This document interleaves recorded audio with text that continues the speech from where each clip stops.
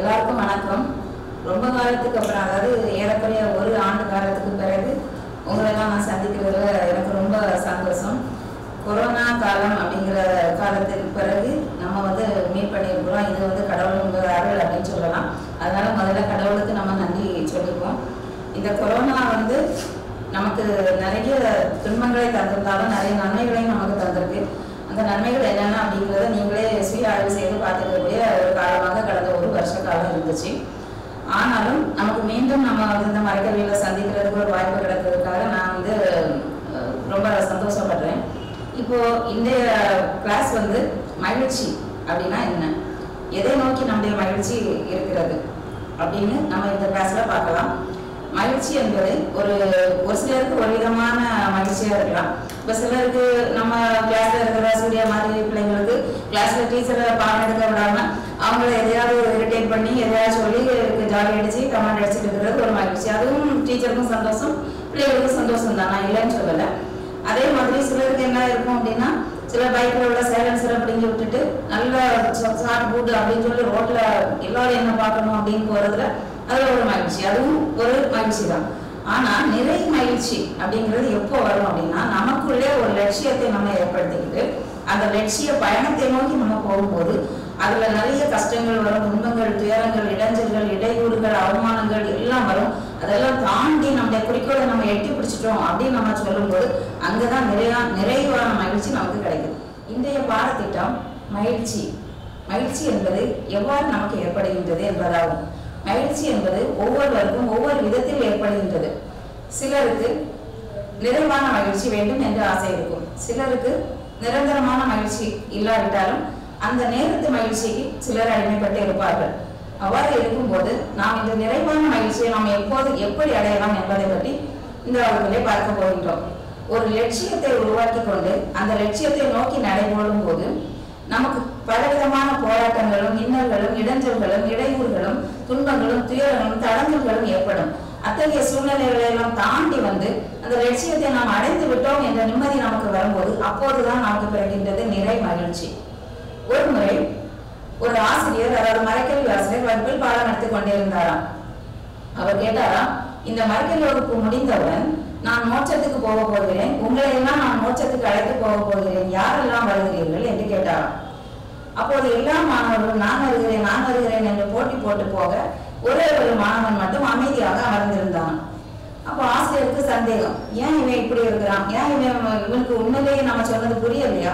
அப்படின்னு சொல்லி சந்தேகப்பட்டு அந்த ஆசிரியர் வந்து அந்த மாணவனை எழுப்பி தம்பி நான் சொன்னது உனக்கு புரியலையா? நான் மோட்சத்துக்கு போக போகிறேன். மொத்த வகுப்பும் என்னோடு வரப்போகிறது. நீ வரவில்லையா? என்று கேட்டா அப்போ அதுக்கு அந்த மாணவன் சொன்னானா நான் வரவில்லை. ஏனென்றால் நான் வந்து அமெரிக்க நாட்டின் ஜனாதிபதி ஆக வேண்டும் என்று சொன்னானாம். பிற்காலத்தில் அமெரிக்காவின் ஜனாதிபதி ஆகிய அபிரகாம் லிங்கம் தான் அந்த சிறுவன். அவனுடைய உள்ளத்திலே அந்த சிறு வயதிலேயே ஒரு லட்சியம் இருந்தது. அதாவது அவன் வாழ்ந்த காலத்தில் வெள்ளையர்களுக்கும் கற்பர்களுக்கும் இடையே மிக பெரும் இன வெறி இருந்தது. இன போராட்டம் இருந்தது. இன வேற்றுமை இருந்தது. அரசின் சட்டங்கள் கூட கற்பர்களுக்கு எதிராக இருந்தன. எனவே நான் ஜனாதிபதி ஆனால் நான் அந்த திட்டங்களை மாற்றி அமைப்பேன். அனைவருக்கும் சம உரிமை அளிப்பேன் என்று அவன் எண்ணினான். எனவே அந்த சிறு இளைஞன் இத்தகைய ஒரு குறிக்கோளோடு தன்னுடைய வாழ்க்கையில் முன்னேறினான். நீங்கள் நினைக்கலாம் அவனுக்கு போன உடனே ஜனாதிபதி ஆகிவிட்டானோ என்று. இல்லை அவன் முதலில் தன்னுடைய வாழ்க்கைக்காக ஒரு சிறு கடையை ஒரு வியாபாரத்தை ஆரம்பித்தான். அங்கேயும் அவனுக்கு தோல்வி. அடுத்தது தன்னுடைய ஊரை சுற்றியுள்ள ஒரு சிறு லோக்கல் பாடி என்று சொல்வார்கள் அப்படிப்பட்ட ஒரு லோக்கல் பாடியில் எலெக்ஷனுக்கு போனார். அங்கேயும் தோல்வி. அடுத்தது சட்டசபை தேர்தலில் போட்டியிட்டார். அங்கேயும் தோல்வி. தன்னுடைய வாழ்க்கை வயதுக்கே உரித்தாக ஒரு பெண்ணை காதலித்தார் அந்த காதலிலும் தோல்வி. இது மட்டுமல்ல அவருடைய உடல்நிலையிலும் தோல்வி அடைந்து அவருடைய முதுகு தண்டுவடம் பாதித்து படுத்த படுக்கையாக இருந்தார். மீண்டும் மீண்டும் வந்து எழும்பி வந்து சட்டசபை தேர்தலில் மீண்டும் போட்டியிட்டார். அப்போதும் தோல்வி. செனட் தேர்தலில் போட்டியிட்டார். அப்போதும் தோல்வி.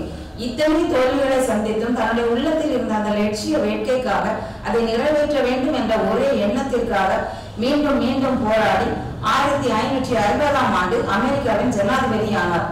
ஆயிரத்தி ஐநூற்றி அறுபத்தி இரண்டாம் ஆண்டிலேயே கருப்பர்களுக்கும் வெள்ளர்களுக்கும் எந்த விதமான வேற்றுமையும் இல்லாதவாறு அமெரிக்காவின் சட்டத்தை மாற்றி அமைத்தார் இத்தகைய ஒரு லட்சிய குறிக்கோள் தான் இன்று உங்களிடையே இருக்க வேண்டும். மாணவர்களை நீங்கள் நினைக்கலாம் நான் வந்து ரொம்ப அறிவு கிடையாது. இல்ல வாழ்க்கையில் முதல் மார்க் வாங்கல என்னால் எதையும் சாதிக்க முடியாது.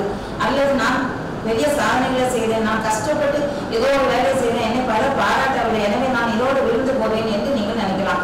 அப்படி இல்லை.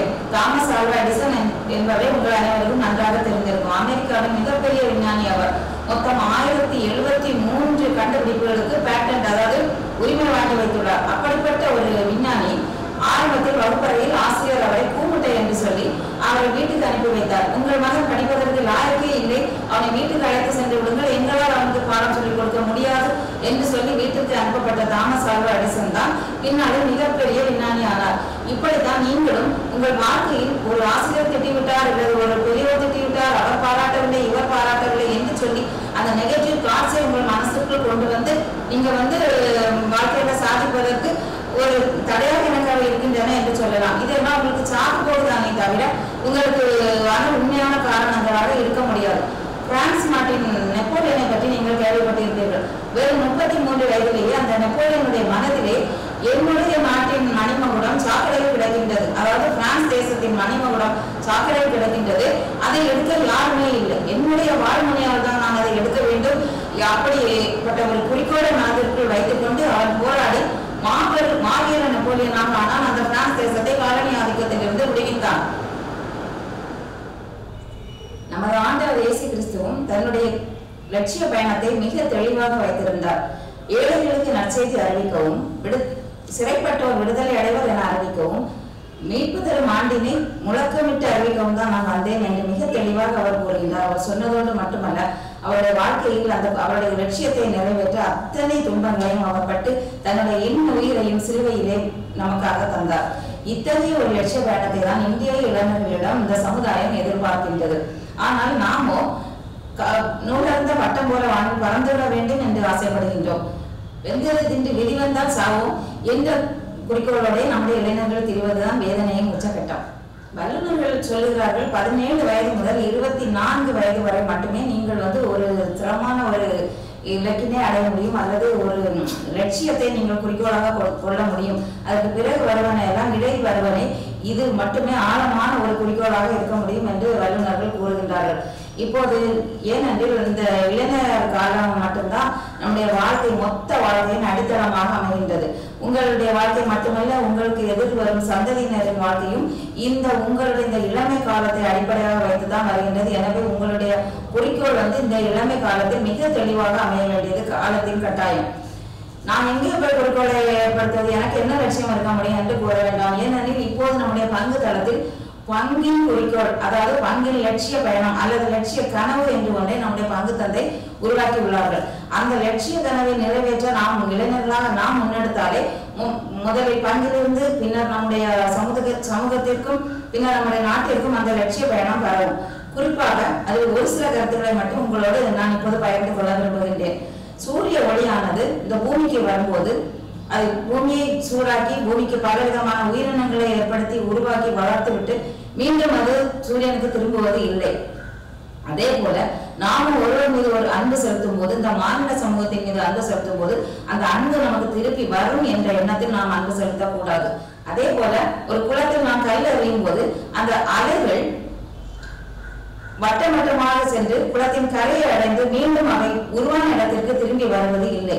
அதே போலவே நாம் இந்த மாநில சமூகத்தின் மீது கொண்டுள்ள அக்கறையும் அன்புமானது திரும்பவும் நம் மீது அன்பு செலுத்தப்பட வேண்டும்.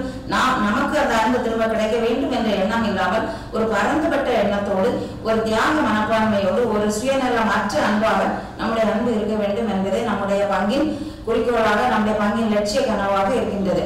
ஏழைகள் இல்லாத பங்கை உருவாக்க வேண்டும் என்பது நம்முடைய லட்சிய கனவு. அந்த கனவை நிறைவேற்ற வேண்டியது நம்முடைய இளைஞர்களின் கடமையாக இருக்கின்றது. இளைஞர்களின் கையில் உள்ளது. நம்ம ஆண்டவர் இயேசு கிறிஸ்துவ நம்மிடம் என்ன சொல்கிறார் என்றால் என் ஆண்டவர் என் என் தந்தை என்னை நேசித்தது போல நான் உங்களை நேசிக்கின்றேன். நான் உங்களை நேசிப்பது போல நீங்கள் பிறரை நேசியுங்கள் என்று. திரும்ப நீங்கள் என்ன நேசியுங்கள் என்று அவர் சொல்லவில்லை. எனவே அன்பான இளைஞர்களே இந்த அன்பு வந்து விரிந்து நம்மிடமிருந்து புறப்பட்டு நம்முடைய குடும்பங்களுக்கு சென்று சமுதாயத்திற்கு சென்று அதன் மூலமாக இந்த மாநில சமூகம் முழுவதும் பரவ வேண்டும் என்பதே இறையாட்சியின் மதிப்பீடு. அதுவே இறையாட்சி.